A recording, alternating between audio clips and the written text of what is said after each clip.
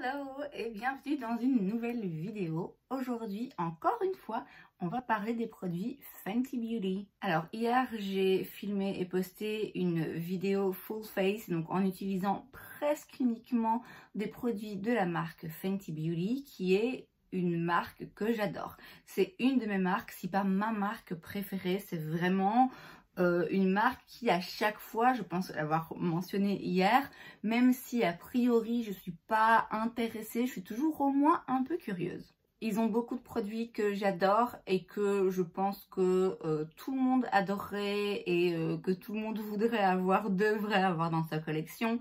Ils ont aussi pas mal de produits que moi, personnellement, j'aime beaucoup, qui fonctionnent pour moi, mais qui, je l'admets, ne vont pas fonctionner pour tout le monde. Euh, ça va dépendre principalement de votre type de peau. Donc clairement, le fond de teint, par exemple, euh, Soft Matte, moi, je l'adore. Quelqu'un qui a une peau très sèche, je lui recommanderais pas forcément. Et puis, ils ont quelques produits, ci et là, qui vraiment, ne, pour moi, ne fonctionne pas, ou en tout cas pas suffisamment à mon goût. Et c'est de ces produits dont je vais parler aujourd'hui. Alors j'ai cinq produits à vous euh, montrer. On va commencer par celui qui est le moins pire parmi les pires, si vous voyez ce que je veux dire. Il s'agit du primer, d'un de leurs primers. Ici, c'est le Instant Retouch Primer. Donc, c'est la base retouche instantanée Soft Matte. Ils ont deux autres primers, euh, une base matifiante et l'autre hydratante que j'ai en échantillon et qu'il faut vraiment que j'essaye et peut-être qu'ils sont extraordinaires. Celui-ci, Ouais, franchement, c'est un primer. C'est pas euh, la raison pour laquelle c'est pas le pire produit de la marque à mes yeux, c'est parce que c'est pas un mauvais produit en soi. Il fait rien de mauvais. Il, n'a pas, euh, il réagit bien au, fond de teint euh, que j'utilise. Il n'a pas un aspect un petit peu qui pile comme ça quand on le met. Voilà, c'est un primer, c'est juste qu'il fait vraiment pas grand chose. là, j'ai un petit format, je l'utilise parfois pour l'utiliser, mais franchement, je peux vivre sans, il est vraiment pas ouf. Le second produit dont je vais parler, et j'en ai plusieurs, ce sont les sticks de chez Fenty. Alors, ils sont sympas, c'est marrant, parce qu'ils sont magnétisés, du coup, ils tiennent ensemble. Euh, je suis pas hyper fan, je m'y attendais un peu. Euh, j'avais lu et regardé pas mal euh, d'avis assez négatifs en fait sur ces sticks. Euh, et puis, quand je bossais chez Sephora, ils étaient en solde. Et je me suis dit, bon, vas-y, je vais quand même un peu les tester. Parce que comme j'adore tout ce que Fenty sort, presque, euh, j'ai eu envie de faire le test et de voir ce que ça donnait. Alors pour vous dire la vérité, hier quand j'ai fait euh, ma vidéo en utilisant exclusivement, presque exclusivement du maquillage Fenty, j'avais oublié que j'avais ces sticks. Donc c'est vous dire à quel point je les utilise peu souvent. Alors, je dois aussi admettre que je ne les déteste pas autant que ce que j'aurais pensé. Euh, finalement, même après avoir vu des revues négatives, j'arrive à les utiliser. J'arrive à trouver une façon de les faire fonctionner pour moi. Mais je trouve en fait que c'est beaucoup de boulot au final pour pas beaucoup de résultats. Donc ça, ce sont les trois teintes que j'ai. Je ne sais pas si vous verrez bien celle-ci parce que c'est quasiment la couleur de ma peau en ce moment. Donc celle-là, c'est la teinte Honey que je peux utiliser comme un bronzer quand j'ai le teint plus clair. J'ai la teinte Chili Mango que j'utilise en blush, même si c'est quand même rien trop brillant à mon goût. Et j'ai la teinte Confetti que j'utilise en highlighter, même si vous voyez, c'est quand même très mauve. Hein. donc ça va pas être un highlighter euh, discret euh, de tous les jours. Alors, ils ont beaucoup, beaucoup de teintes différentes. Donc, ma foi, si ces teintes ne me conviennent pas, c'est un petit peu de ma faute. Hein. Euh, mais en dehors des couleurs elles-mêmes, je trouve que la formulation, en fait, est vraiment pas top. Quand on utilise un produit crème, a priori, on s'attend à quelque chose qui va être bah, crémeux, qui va être facile à estomper, qui va avoir un effet un petit peu plus naturel, qui va être... Euh, peut-être plus agréable à travailler pour certains types de peau. Euh, en l'occurrence, même moi qui ai la peau mixte à tendance grasse, je peux reconnaître que ces sticks sont assez chiants en fait. Je trouve qu'ils sont un peu secs, euh, c'est une formulation un peu...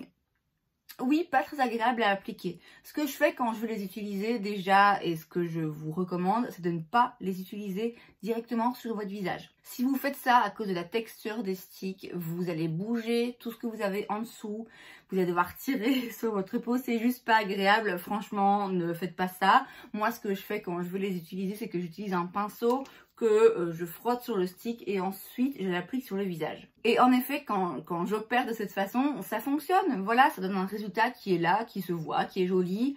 Maintenant, voilà, encore une fois, je trouve que c'est pas ouf. Et pour le coup, j'adore les bronzers de la marque Fenty, j'adore les blush crème de la marque Fenty. J'ai Dieu sait combien d'highlighters de chez eux que j'adore également. Je vous conseillerais de plutôt vous diriger vers leurs autres produits crème ou poudre. Les sticks, franchement, c'est pas leur meilleur produit. J'ai ensuite un mascara, donc je l'ai utilisé, ici c'est un échantillon aussi, hein, je l'ai utilisé pour la première fois hier. Je le porte encore aujourd'hui et... Ouais, franchement, c'est pas ouf. Euh, c'est pas en soi, oh mon dieu, un mascara horrible voilà, c'est un mascara, après je trouve qu'il fait quand même vraiment, vraiment pas grand chose. Alors, la brosse en elle-même, déjà, il y a deux côtés. Il y a un côté plus plat et épais et l'autre beaucoup plus fin. Et rien que ça, en fait, ça rend le processus d'appliquer du mascara un peu plus compliqué. Alors, ma foi, si ça en valait le coup et que le résultat était complètement incroyable, je serais pas contre.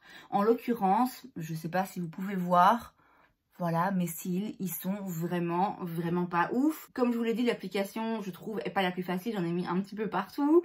Euh, et encore une fois, à la limite, je pourrais l'accepter si les résultats en valaient le coup, mais je trouve que c'est pas le cas.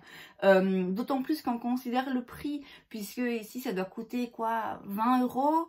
Vous pouvez trouver des mascaras euh, en supermarché, etc., qui vont coûter une fraction de ce prix et qui vont avoir un effet tellement plus impressionnant. Donc voilà, maintenant que je l'ai ouvert et vu que c'est un petit, euh, un petit échantillon, je vais l'utiliser tant que je l'ai, tant qu'il n'est pas sec, parce que, comme j'ai dit, c'est pas un mascara horrible, mais je pense que c'est le genre de mascara que j'utiliserai uniquement quand je mets des faux cils, en sachant que du coup, bah c'est pas grave si mes cils sont un petit peu moins volumineux que d'habitude. J'ai ensuite ce produit euh, que je porte aujourd'hui. Alors vous allez me dire, mais c'est l'avant-dernier produit, donc vraiment tu l'aimes pas. Pourquoi tu le portes? Parce que je le trouve très beau en fait. Donc je l'ai mis euh, sur mon décolleté et sur mes épaules. Euh, l'effet est magnifique. Et donc ceci c'est le Body Lava euh, Illuminateur pour le corps dans la teinte Trophy Wife. Alors pourquoi je garde ce produit? Déjà parce que je pense l'avoir déjà dit, j'ai du mal à me débarrasser du make-up. J'ai un attachement maquillage assez prononcé. Euh, en plus, celui-ci, se de pas donné. C'est un très joli produit en soi et c'est l'un des seuls produits de ce type. Donc, un, un, produit un petit peu gel comme ça, pailleté que j'ai pour le corps. Et donc, comme je vous l'ai dit, je l'ai mis parce que je le trouve très très joli. Mais je déteste le fini. Il est hyper hyper collant. Là, ça doit faire pas loin d'une heure que je le porte. Euh, et, il est toujours collant en fait. Et j'en fous partout. Donc si vous portez ce produit, sachez que ça va être très joli, mais que peu importe les objets ou les personnes que vous touchez, vous allez en foutre partout. Je vous le dis, voilà. C'est en plus, c'est ouais, ça a un côté un peu, oui, collant et gras qui est pas du tout agréable. Alors je sais pas si c'est possible de trouver un truc collant agréable, mais là en l'occurrence, c'est vraiment ça me donne envie d'aller me doucher en fait. J'ai juste là envie d'aller retirer ça. Je trouve ça assez euh, désagréable. Alors comme je vous l'ai dit, c'est un des seuls produits que j'ai de ce genre. Donc il se peut que sans que je m'en rende compte, en fait tous les gels pailletés euh, de ce type pour le corps, au final ont tous un résultat très collant désagréable. Honnêtement j'en doute. Et d'après les revues que j'ai pu lire et voir sur ce produit, je pense savoir que je ne suis pas la seule à trouver qu'il est beaucoup trop collant, bien que magnifique. Alors comme je l'ai dit, c'est un des seuls produits de ce genre que j'ai parce que bon, c'est pas tous les jours que j'ai l'occasion de me dépailler sur mon corps. Euh, ceci dit, peut-être que je devrais le faire plus souvent parce que c'est vrai que j'aime beaucoup le résultat. Euh, mais voilà, c'est juste quelque chose que je sais que je vais devoir enlever euh, rapidement parce que je trouve ça juste hyper désagréable en fait. Et enfin, le dernier, et donc le pire produit de la marque Fenty que j'ai testé, c'est le fond de teint hydratant. Donc, c'est le Hydrating Longwear Foundation. Ce truc bouge, est gras, dégueulasse, il va partout, c'est une horreur.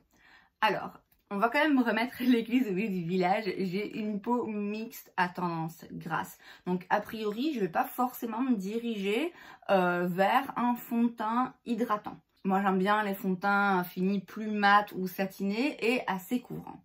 Ceci dit, euh, j'ai encore une fois lu et vu assez de revues de ce produit pour savoir que même des personnes qui ont la peau sèche et qui recherchent ce genre de formulation plutôt hydratante n'aiment pas ce produit pour les raisons que euh, je viens d'expliquer brièvement. Tout d'abord, il bouge. Il bouge vraiment partout, il n'est pas longue durée, il ne pénètre jamais réellement dans la peau en fait, il, ne se pose jamais de façon euh, durable. Donc vraiment, dès que vous touchez votre visage, vous allez avoir du fond de teint qui bouge un peu partout. C'est du coup un peu difficile d'utiliser n'importe quel autre produit au-dessus. Et en plus de ça, il devient très rapidement très reluisant. Et comme je l'ai dit, j'ai une peau mixte à tendance grasse, donc je sais que c'est quelque chose qui peut m'arriver, peu importe le fond de teint que j'utilise. Mais avec ça, c'était vraiment un niveau euh, autre. Euh, et en fait, il reste encore une fois toujours assez collant. Alors, comme je l'ai dit, il y a certains produits de la marque que j'adore, mais que je ne recommanderais pas à n'importe qui. Leur fond de teint euh, Pro Matte Foundation, donc le fond de teint mat, euh, moi je l'adore vraiment, mais je sais que si vous avez une peau très sèche, vous n'allez pas forcément l'apprécier. Si c'est le cas, et que vous cherchez en effet un fond de teint euh, couvrant, longue tenue, etc., mais plutôt hydratant, quand même, ne prenez pas celui-ci, franchement, c'est pas la peine. J'ai failli acheter de teint. Parce que, je vous l'ai dit, je suis toujours, si pas intéressée, au moins curieuse par les produits que Fenty euh, sort. À un moment donné, il y avait 30% euh, de réduction, je pense, ce fond de teint pendant mes soldes.